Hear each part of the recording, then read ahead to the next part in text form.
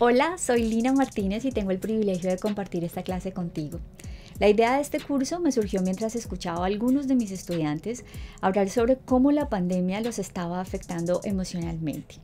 La felicidad era un estado emocional cada vez menos frecuente en sus vidas, mitificado en los factores que hacen a la gente más feliz y percibido como un estado emocional que la sociedad demanda.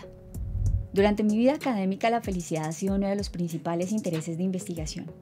Junto con mi equipo llevamos años midiendo las tendencias de la felicidad, la satisfacción con la vida y la prevalencia de las emociones negativas.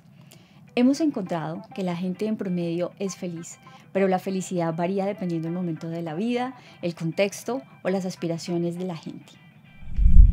Creé esta clase para ayudar a mis estudiantes no solo a sortear los efectos adversos de la pandemia, sino también para tener una conversación que pocas veces tenemos, y es hablar sobre lo común que son los problemas de salud mental. Las emociones asociadas a la felicidad y a las condiciones que afectan nuestra salud mental coexisten en nuestros estados emocionales diarios y tienen muchos elementos en común.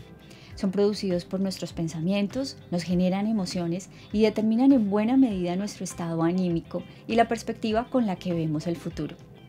Hay otro elemento que también tienen en común y es que sabemos en general muy poco de ellos.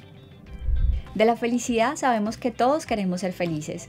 Es lo que buscan los padres para sus hijos, lo que queremos para nuestras vidas y lo que buscamos en todo lo que hacemos, en el trabajo, con la familia, en la vida amorosa.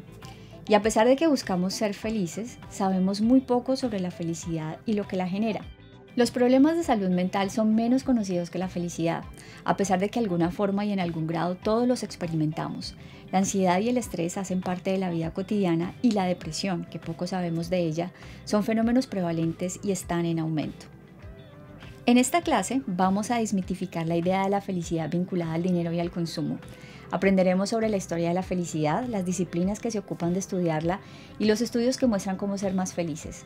También vamos a abordar los problemas de salud mental y cómo la pandemia ha sido un facilitador para entender lo que realmente nos hace felices, al tiempo que ha permitido tener una conversación más compasiva sobre los problemas de salud mental. En este curso abrimos el aula para todos los que quieran conocer sobre dos temas que hacen parte de la narrativa de nuestros días.